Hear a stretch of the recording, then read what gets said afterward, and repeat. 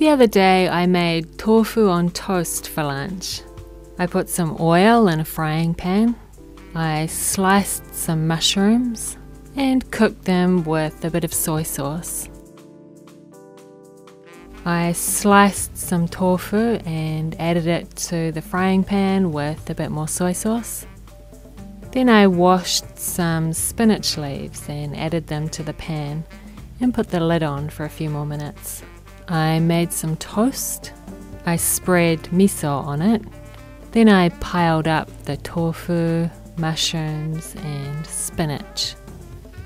Finally, I sprinkled some sesame seeds on top. I think white sesame seeds might have looked better, but I didn't have any. It was pretty tasty.